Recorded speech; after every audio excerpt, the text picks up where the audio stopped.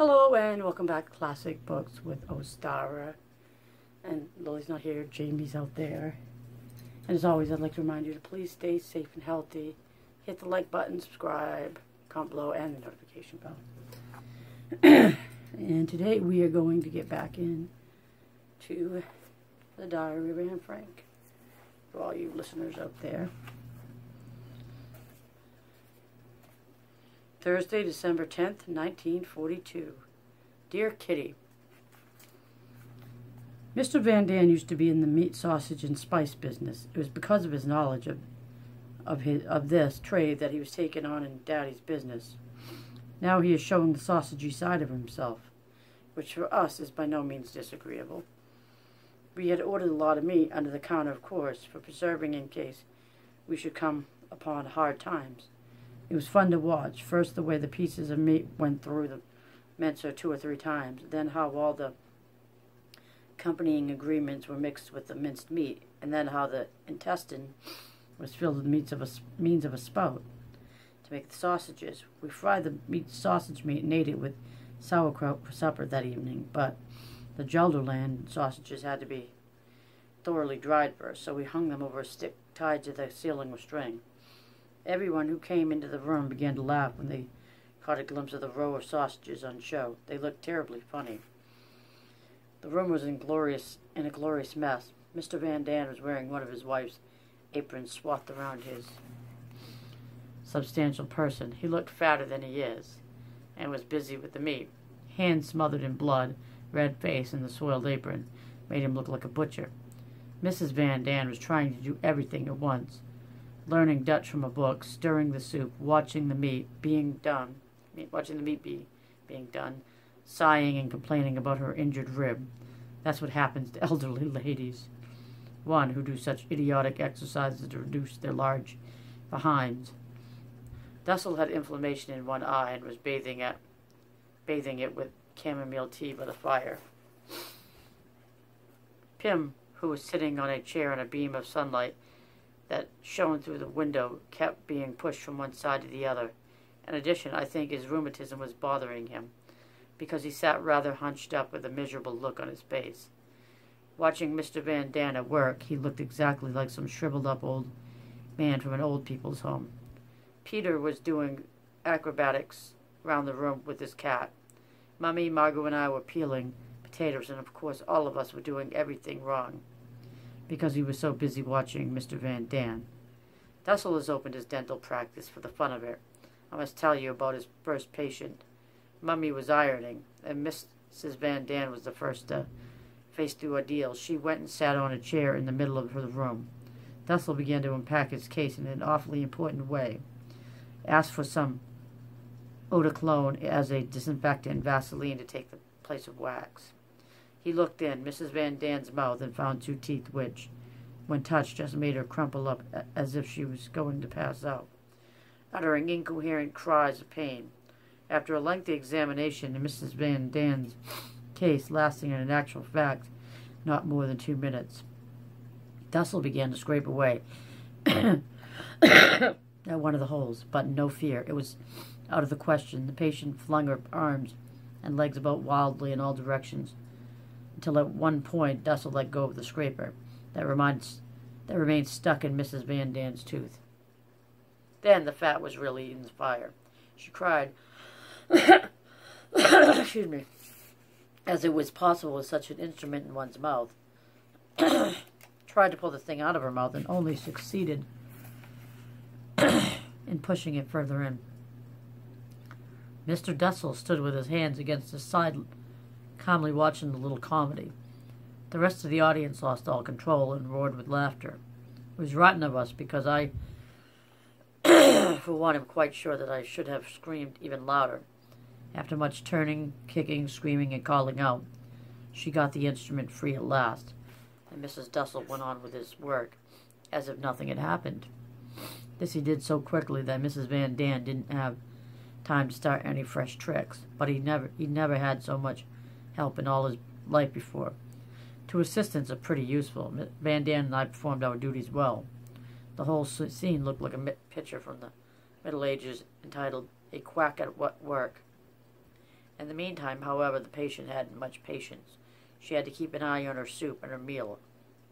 One thing is certain, Mrs. Van Daan won't be in such a hurry to allow herself to be treated again. Yours, Anne. Sunday, December 13th, 1942. Dear Kitty, I'm sitting cozily in the main office, looking outside through a slit in the curtain. It is dusk, but still just light through enough to write to you. It is a very queer sight as I watch the people walking by. It looks just as if they are all in a terrible hurry and nearly trip over their own toes.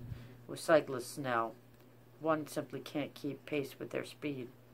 I can't even see what sort of person is riding on the machine. The people in this neighborhood don't look very attractive. The children especially are so dirty you wouldn't want to touch them with a barge pole. Real slum kids with running noses. I can hardly understand a word they say. Yesterday afternoon, Margot and I were having a bath here, and I said, supposing you were to take the children who are walking past one by one, hoist them up with a fishing rod, give them such a them each a bath, wash and mend their clothes, and then let them go again. Then, Margot interrupted me. By tomorrow they would look just as filthy and ragged as before. But I'm just talking nonsense. Besides, there are other things to see cars, boats, and rains. Rain. I like particularly the screen, screech of the trams as they go by. There's no more variety in our thoughts than there is for ourselves. They go round and round like a roundabout from Jews to food and from food to politics. By the way, talking of Jews, I saw two Jews through the curtain yesterday. I could hardly believe my eyes. It was a horrible feeling, just as if I'd betrayed them and was now watching them in their misery. There's a houseboat immediately opposite where Bargeman lives with his family. He was a small yapping. He has a small yapping dog. We only know the little dog by his bark and his tail, which we can see when he runs around the deck. Ugh! Now it start started to rain, rain, and most of the people are hidden under umbrellas. I see nothing but raincoats and occasionally the back of someone's hat. Really, I don't need to see more. I'm gradually getting to know all the women at a glance, blown out with potatoes, wearing a red or a green coat, trodden down heels and with a bag under their arms. Their faces either looked grim, depending on uh, their headbands, their husbands, excuse me, disposition. Let's see where is. Okay. Tuesday, December 2nd, 22nd, excuse me, Tuesday, December 22nd, 1942. Dear Kitty, the secret annex has heard the joyful news that each person will receive an extra quarter of a pound of butter for Christmas. It says half a pound in the newspapers, but that's only for the lucky mortals who get their ration books from the government. Not for Jews who have gone into hiding, who can only afford to buy four illegal ration books instead of eight. We are all going to bake something with our butter. All the suffering, all the suffering the war has brought, but then I would only make myself more dejected. There's nothing we can do but wait as calmly as we can till the misery comes to an end. Jews and Christians wait, the whole earth waits, and there are many who wait for death. Yours, Anne. Saturday, January 30th, 1943. Dear Kitty, I'm boiling with rage, and yet I mustn't show it. I'd like to stay at my feet, scream, give Mummy a good shaking cry, and I don't know what else, because of the horrible words, mocking looks, and accusations which are leveled at me repeatedly every day and find their mark like shafts from a tightly strung bow, and which are just as hard to draw from my body. I would like to shout to Margot Van Daan, Dussel, and Daddy too.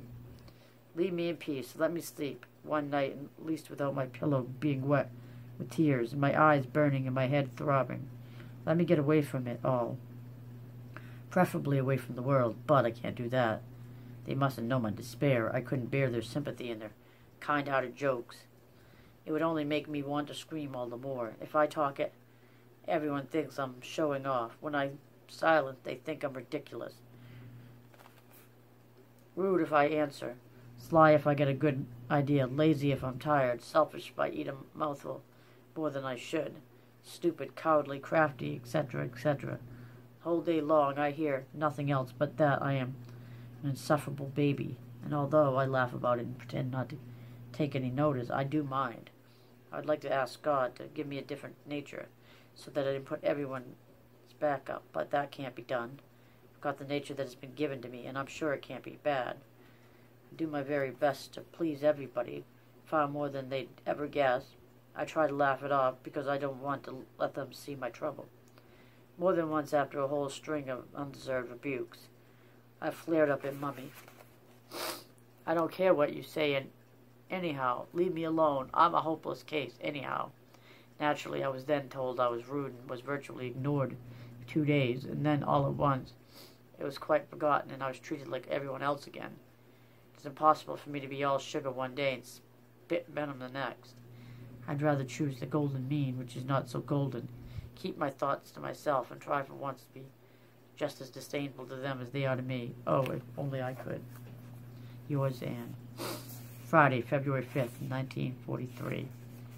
Dear Kitty, although I haven't written anything about our Rose for a long time, there still isn't any change. The discord, long accepted by us, struck, struck Mr. Dussel as a calamity at first, but he's getting used to it now, tries not to think about it.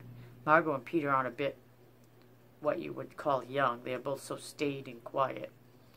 I show up terribly against them, and am always hearing, You don't find Margot and Peter doing that. Why don't you follow their example?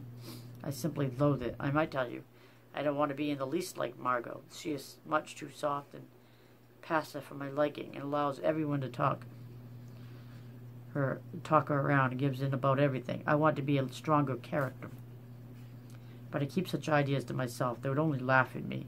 If I came along with this and this as an explanation of my attitude, the atmosphere at table is usually strained, though luckily the outbursts are sometimes checked by the soup eaters. The soup eaters are the people from the office who come in and are served with a cup of soup. This afternoon, Mr. Van Daan was talking about Margot eating so little again. I suppose you do it. Keep slim, he added, teasing her. Mummy, who always defends Margot, said loudly, I can't bear your stupid chatter any longer. Mr. Van Daan turned scarlet, looked straight in front of him, and said nothing. We often laugh about things, such just recently Mrs. Van Daan came out with some perfect nonsense. She was recalling the past, how well she and her father got on together, what a flirt she was. And do you know, she went on, if a man gets a bit aggressive, my father used to say, then you must say to him, Mr. So-and-so, remember I'm a lady, and he will know what you mean. We thought that was a good joke and burst out laughing. Peter, too, although usually so quiet, sometimes gives cause for mirth. He is blessed with a passion for, for, for foreign words. Although he does not always know their meaning, one afternoon we couldn't go to the lavatory because there were visitors in the office. However, Peter had to pay an urgent call. So he didn't pull the plug. He put a notice upon the lavatory door to warn us with SVP gas on it. Of course, he meant to put beware of gas. But the thoughts the other, but he thought the others looked more genteel he hadn't got the faintest notion it meant, if you please. Yours, Anne. Saturday, February 27, 1943. Dear Kitty, Pim is expecting the invasion any day. Churchill ha- has had pneumonia, but is improving slowly. The freedom-loving Gandhi of India is holding his umpteenth fast. Mrs. Van Daan claims to be fatal- fatalistic, but who is the most scared when the guns go off? No one else but Petronella. Henk brought a copy of the bishop's letter to churchgoers for us to read. It was very fine and inspiring. Do not rest, people of the Netherlands. Everyone is is fighting with his own weapons to free the country, the people, and the religion. God, give help. Be generous and do not dismay, is what they cry from the pulpit. Just like that. Will it help? It won't help the people of our religion. You'd never guess what had happened to us now. What has happened to us now. the owner of these premises sold the house without informing Kraler and Koophuis. One morning, the new owner arrived with an architect to have a look at the house. Luckily, Mr. Koophuis was present and showed the gentleman everything except the secret annex. He professed to have forgotten the key at the communicating door. The new owner didn't question any further. It'll be all right as long as he doesn't come back and want to see the secret annex, because then it won't look too good for us. Daddy, Daddy hasn't emptied a card index box for Margot, me, and put cards in it. It is to be a book card system. Then we both write down which books we have read, who they are by, etc. I procured another little notebook for foreign words. Later, Mummy and I have been getting on better together, but we still never confide in each other. Margot is more catty than ever. Daddy's got something he's keeping to himself, but he, he remains the same darling. New butter and margarine rationing at table. Each person has a little bit of fat put on their plate. In my opinion, the Van Daans don't divide it at all fairly. However, my parents are much too afraid of a row to say anything about it. Pity, I think you should always give people like them tip or tat. Yours, Anne. Wednesday, March 10th, 1943. We had a short circuit laddie, last evening, and on top of that, the guns kept banging away all the time. I still haven't got over my fear of everything connected with shooting and planes, and I creep into Daddy's bed nearly every night for comfort. I know it's very childish, but you don't know what it is like. The AA guns roar so loudly that you can't hear yourself speak. Mrs. Van Daan, the fatalist, was nearly crying. Said in a very timid little voice, Oh, it is so unpleasant. Oh, they are shooting so hard. By which she really means, I'm so frightened. It d- didn't seem nearly so bad by candlelight as in the dark. I was shivering just as if I had a temperature and begged Daddy to light the candle again. He was relentless. The light remained off. Suddenly there was a burst of machine gun fire, and that is ten times worse than guns. Mummy jumped out of bed, and to Pim's annoyance, lit the candle. When he complained, her her answer was firm. After all, Anne's not exactly a veteran soldier, and that was the end of it. Have I already told you about Mrs. Van Daan's other fears? I don't think so. If I am to keep you informed of all that happens in the secret annex, you must know about this too. One night Mrs. Van Daan thought she had heard burglars in the attic. She heard loud footsteps and was so frightened that she woke her husband. Just at that moment the burglars disappeared, and the only sounds that Mrs. Van Daan could hear were the heartbeats of the frightened fatalist herself. Oh, Putty, Mrs. Van Daan's nickname. They are sure to have taken the sausages and all our peas and beans. And Peter, I wonder if he is still safely in bed. They certainly won't have stolen Peter. Listen, don't worry. Let me go to sleep. But nothing came of that. A few nights after that, the whole Van Daan family was woken by ghostly sounds. Peter went up to the attic with a torch and scamper, scamper. What do you think was running away? A swarm of enormous rats. When we knew who the thieves were, we let Keep sleep in the attic, and the uninvited guests didn't come back again. At least not during the night. Peter went up to the loft a couple of evenings ago to find fetch some old newspapers. He had to hold the trap door fam- firmly to get down the steps. He put his hands down without looking and went tumbling down the ladder from the sudden shock and pain. Without knowing it, he had put his hand on a large rat and it had bitten his hand, him hard. By the time he reached us, as white as a sheet, and with his knees knocking, the blood had soaked to his pajamas, and no wonder. Not very pleasant to stroke a large rat. To get bitten into into the bargain is really dreadful. Yours, Anne. I guess so. Yuck. Friday, March 12, 1943. Dear Kitty, may I introduce someone to you? Mama Frank, champion of, champion of youth. Extra butter, butter for the young. The problems of modern youth. Mummy defends youth in every everything, and after a certain amount of squabbling, she always gets her way. A bottle of preserved soul has gone bad. Gala dinner for Muskie and, Bo- and Bucky. You haven't met Bucky yet, although she was here before we went into hiding. She's the warehouse and office cat. Keeps down the rats in the storerooms. Her odd political name requires an explanation. For some time the firm had two cats, one for the warehouse and one for the attic. Now it occasionally happened that the two cats met. The result was always a terrific fight. The aggressor was always the warehouse cat, yet it was always the attic cat who managed to win. Just like the like a, among nations, so the storehouse cat was named the German, or Pocky, that's funny. And the attic cat, the English, or Tommy. Tommy was got rid of got rid of later. We all entertained. We we're all, we we're all entertained by Bucky when we go downstairs. We have eaten so many kid So many kidney beans and haricot beans that I can't bear the sight of them any more. The mere thought of them makes me feel quite sick. Bread is no longer served in the evenings now. Daddy has just said that he doesn't feel in a good mood. His eyes look so sad again, poor soul.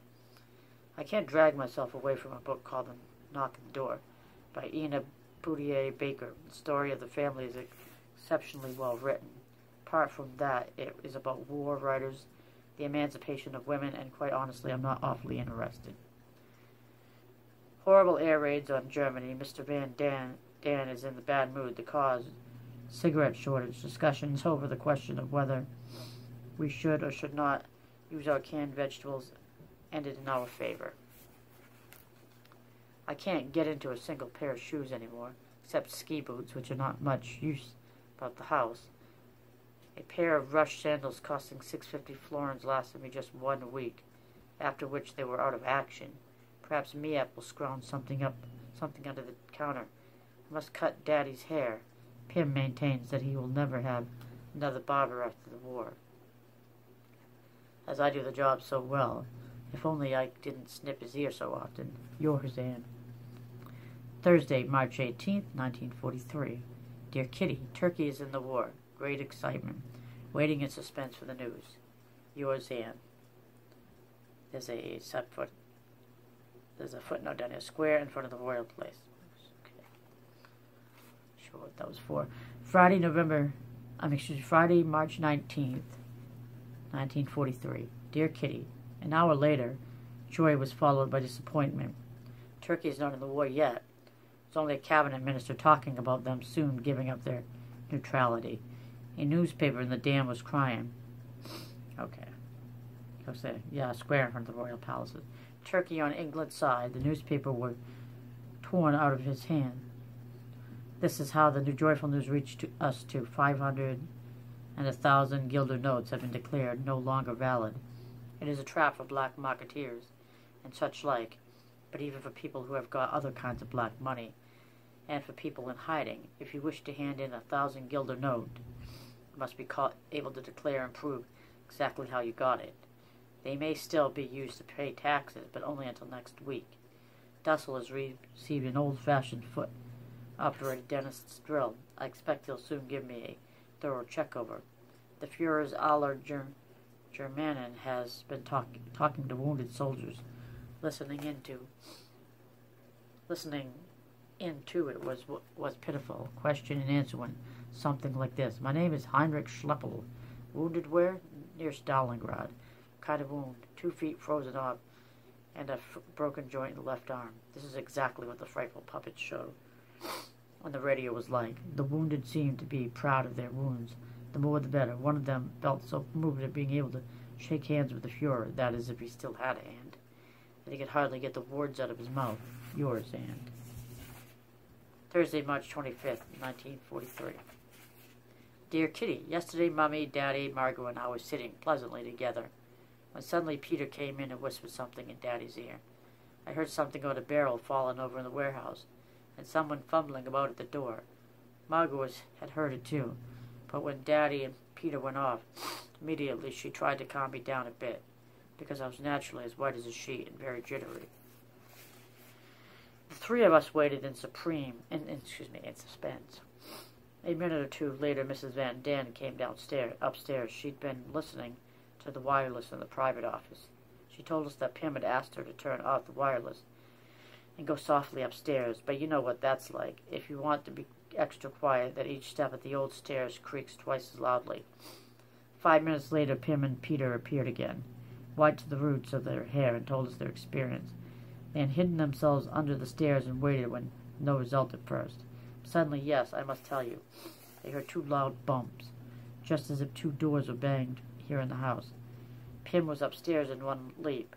Peter warned Dussel first, finally landed upstairs with a lot of fuss and noise. Then we all went up in stock, stocking feet to the Dan, Van Daans on the next floor. Mr. Van Daan had a bad cold and had already gone to bed, so we all drew up closely around his bed and whispered our suspicions to him. Each time Mr. Van Daan coughed loudly. Mr. Van Daan and I were so scared that we thought he we were going to have a fit. That went on until one of us got the bright idea of giving him some codeine, which soothed the cough at once. Again we waited and waited, but we heard no more. Finally, we all came to the conclusion that the thieves had taken to their heels when they heard footsteps in the house, which was otherwise so silent. Now it was unfortunate that the wireless downstairs was still tuned to England, and that the chairs were neatly arranged around round it. The door had been forced, and the air raid wardens had noticed and warned the police that the result might have been then the result might have been very unpleasant. So Mr. Van Daan got up and put on his coat and hat, followed Daddy cautiously downstairs. Peter took up the rear, ar- rear, armed with a large hammer in case of emergencies. The ladies upstairs, including Margot and me, waited, waited in sus- suspense until the gentleman reappeared five minutes later and told us that all was quiet in the house. We arranged that we would not draw any water or pull the plug in the lavatory. But as the excitement had affected most of our tummies, you can imagine what the atmosphere was like when we had each paid a visit to intercession. When something like that happens, heaps of other things seem to come at the same time. As now, number one was that the clock of the Western West, Western Torrent, which I always find so reassuring, did not strike. Number two was that Mr. Boston, having left earlier than usual the previous evening, we didn't know definitely whether Ellie had been able to get hold of the key and had perhaps forgotten to shut the door. It was still evening, and we were still in a state of uncertainty, although we certainly did feel a bit reassured by fact that from about eight o'clock, when the burglar alarmed the house, until half past ten, we had not heard a sound. On further reflection, it also seemed very unlikely to us that a thief would have forced open a door so early in the evening, while there were still people about in the street. Moreover, one of us got the idea that it was possible that the caretaker of the warehouse next door was still at work, since, in the excitement and with the thin walls, one could easily make a mistake, and what's more, one's imagination can play a big part in such critical moments.